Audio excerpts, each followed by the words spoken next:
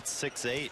And that's one of Coffey's strengths is he can play all over the place. Here is Konate. nice pass, too, from Coffee to set him up.